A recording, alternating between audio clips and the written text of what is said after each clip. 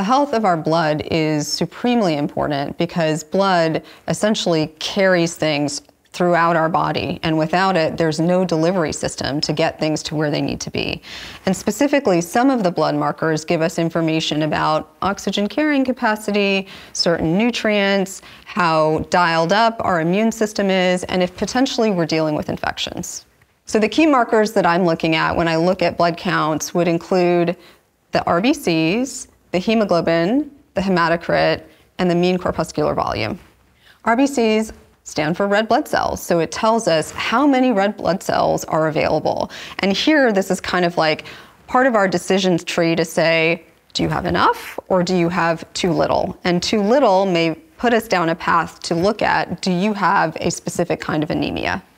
Red blood cells have proteins in them that actually carry oxygen. And so without sufficient oxygen carrying capacity, you may be at risk for anemia. So if you have a problem with anemia, it can vary in intensity. In the most extreme cases, you may have trouble with actual breathing. You may be short of breath. In more, you know, subtle cases, you may just have trouble with fatigue. Hemoglobin is a protein that has the capacity to carry oxygen. We need oxygen to be delivered to the entirety of our body to run respiration in our body. So hemoglobin can be out of range for quite a few reasons. Some of them are genetically determined, but they also could be low secondary to nutrient deficiencies that are things that are more in our control. So when I'm thinking about anemia, first I'm going to look at the red blood cell and if this number is low, then I'm going to look at the hemoglobin and hematocrit. And if I see that these numbers are also low, then I want to determine what kind of anemia it is. I might look at the MCV, mean corpuscular volume. If that number is high, I'm thinking more B12 folate. If that number is low, I'm thinking more about iron. Hematocrit is the percentage of hemoglobin in the red blood cell.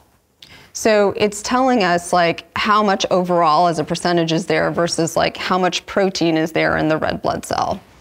Platelets are specialized cells that are involved in clotting, and you want a good balance of these to be able to protect you. If you have a wound, for example, you want platelets to come in to make sure that they can stop the bleeding in a reasonable amount. We also don't want platelets to be too excessively active because this can actually increase clotting in a way that can be detrimental. So platelets are somewhat governed by vitamin K, which is a vitamin that kind of supports the platelet production, but otherwise this may be somewhat kind of constitutional, like where your body is generally speaking, and or if you're getting kind of upregulated due to certain infections or inflammation. If your platelet counts are really out of range, this is probably a sign for you to consult with a hematologist because typically kind of extremes on this are things that need to be worked up. So to support optimal blood health, we want to think about those key nutrients that are balanced. So your iron, your folate, your B12. It's also good to think about generally supporting the immune system with vitamin D and balanced omega-3s.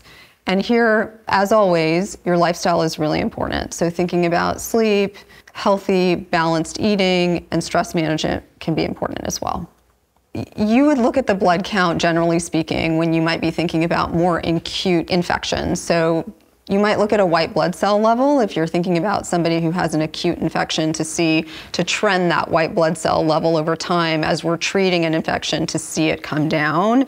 Alternatively, or on the other side of that coin, very low white blood cell levels when they're not extremely low, where you're thinking about immune disorders, can be a sign of excess stress or immune dysfunction like autoimmunity.